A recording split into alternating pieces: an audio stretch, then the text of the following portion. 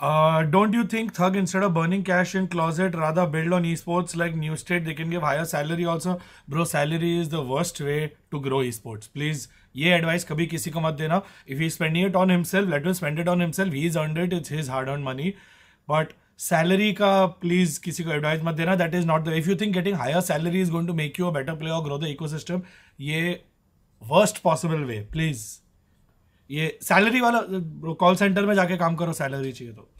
There are hundreds of other places you can go for salary ये industry में आके salary की बातें मत करो। Salary is the thing killing the industry not growing it please you said don't expect salary in esports and how athlete earns.